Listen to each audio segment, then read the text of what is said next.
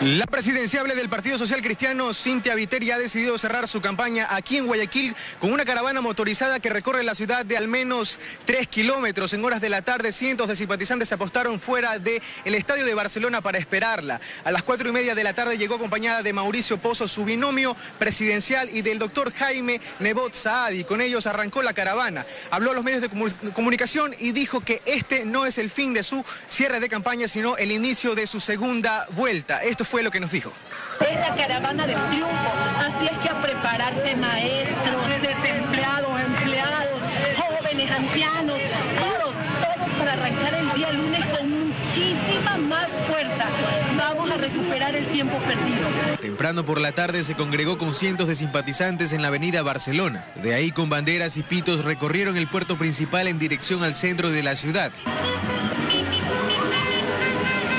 Por la mañana dio una última rueda de prensa, donde ratificó su compromiso de deshacerse de los lujos que dice tener el actual gobierno. Además aseguró que pondrán todo su contingente político para precautelar los resultados de este domingo. Tenemos un ejército de personas a nivel nacional, en cada mesa, ahí de pie, ante la mesa, cuidando la vocación, cuidando la voluntad popular. Viteri y su equipo de campaña se sienten seguros de lograr una segunda vuelta, pero en el caso de que no, adelanta que respetaría los resultados los resultados siempre se han respetado en nuestro país. Unas, todas.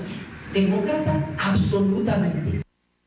A estas horas de la noche la caravana todavía no llega a su punto final, que es la intersección de las calles Malecón y 9 de octubre, donde pronunciará su último discurso previo al cierre de las campañas y al silencio electoral.